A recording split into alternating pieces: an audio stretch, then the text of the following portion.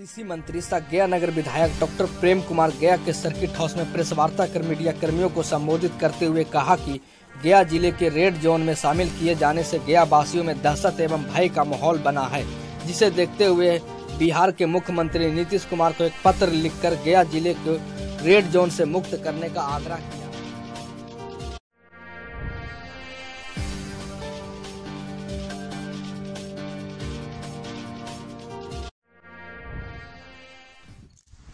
Press conference में प्रमुख विषय है कि गया ज़िले को रेड जोन में शामिल किया गया और यहाँ के स्थानीय नागरिक, आम जनता की ओर से हमारे पास लगातार टेलीफोन भी आ रहा है और हमने इस बात का अध्ययन किया कि गया में शुरुआती दौर में लॉकडाउन हुआ, इस वैश्विक कोरोना महामारी में। पाँच मरीज़ आए थे और पाँचों संक्रमित होकर बाहर से आए थे और पाँच में लगभग पाँच मतलब नेगेटिव पाया गया, हो गए यहाँ का बेहतर व्यवस्था, स्वास्थ्य सेवा। और एक मरीज़ बाद में टिकारी से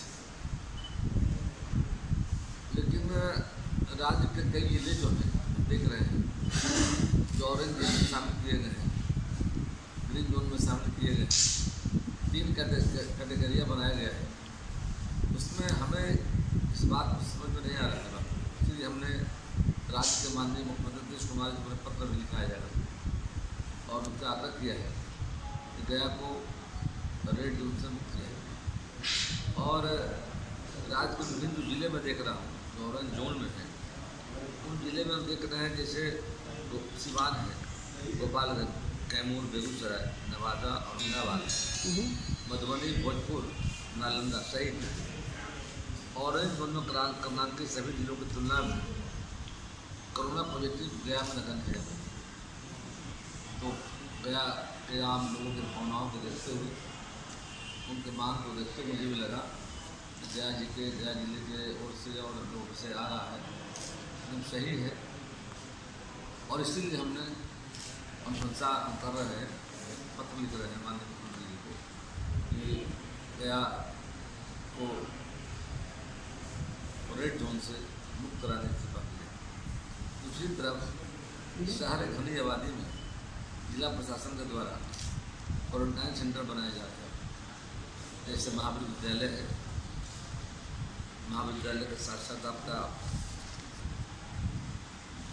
रामकृष्ण कन्या विद्यालय है, टी मॉडल है, आदि हाशमी है गया हाई स्कूल प्लस टू है, अशोक निवास है। तो इस तरह कन्या विद्यालय रमना है, जहाँ शहर की बड़ी आबादी है। हमने सलाह उनको दिया है कि केंद्रीय विश्वविद्यालय गया में मगध विश्वविद्यालय है, इंजीनियरिंग कॉलेज तो बड़े बड़े जो कैंपस हैं उस कैंपस क्वारंटाइन सेंटर बनाया जाए। शहर को घनी आबादी बनाने से लोगों के बीच में डर भय का माहौल